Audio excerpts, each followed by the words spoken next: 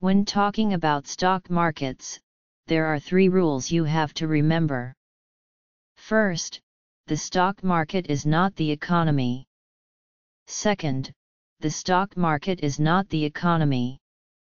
Third, the stock market is not the economy. So the market plunge of the past few days might mean nothing at all. On one side, don't assume that there was a good reason for the slide, although the fact that the Dow fell 666 points on Friday hints either at satanic forces or at some mystical link with the Kushner family's bum investment at 666 Fifth Avenue. When stocks crashed in 1987, the economist Robert Shiller carried out a real-time survey of investor motivations. It turned out that the crash was essentially a pure self-fulfilling panic.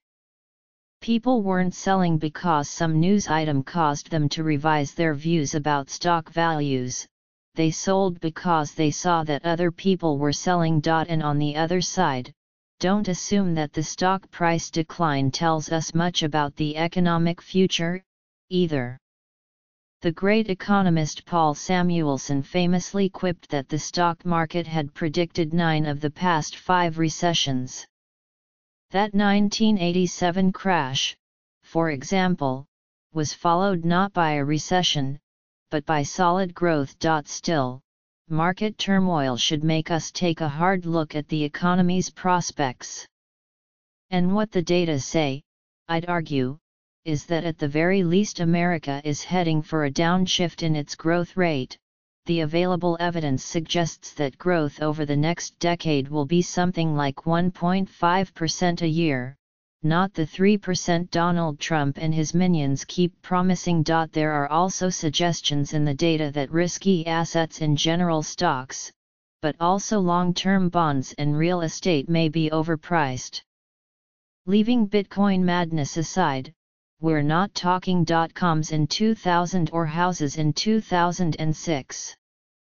But standard indicators are well above historically normal levels, and a reversion toward those norms could be painful. About that plummet, if there was any news item behind it, it was Friday's employment report, which showed a significant although not huge rise in wages.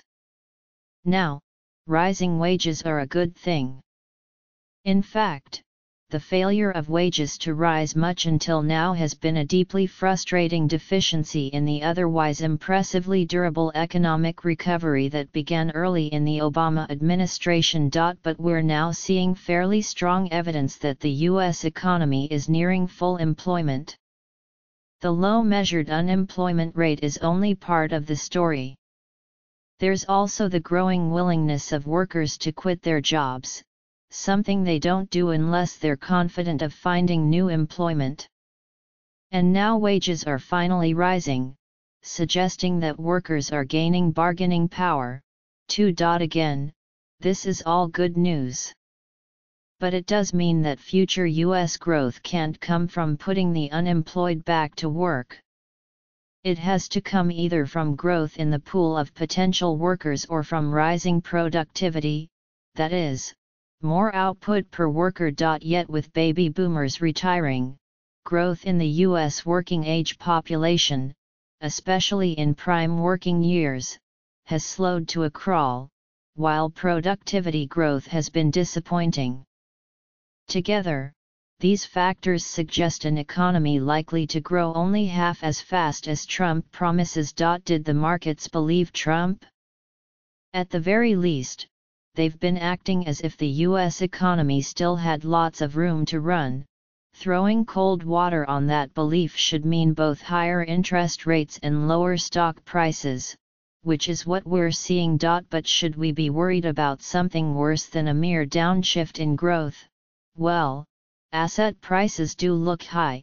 A widely used gauge of stock valuations puts them at a 15 year high, while a conceptually similar measure says that housing prices have retraced a bit less than half the rise that culminated in the Great Housing Bust. Individually, these numbers aren't that alarming. Stocks, as I said, don't look nearly as overvalued as they did in 2000. housing not nearly as overvalued as it was in 2006. On the other hand, this time both markets look overvalued at the same time, at least raising the possibility of a double bubble burst like the one that hit Japan at the end of the 1980s. And if asset prices take a hit, we might expect consumers who have been spending heavily and saving very little to pull back.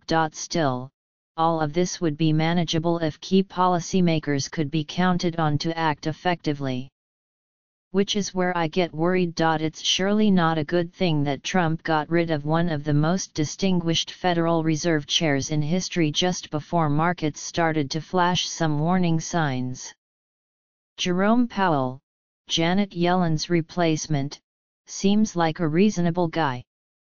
But we have no idea how well he would handle a crisis if one developed. Meanwhile, the current Secretary of the Treasury who declared of Davos, I don't think it's a hangout for globalists may be the least distinguished, least informed individual ever to hold that position. So are we heading for trouble?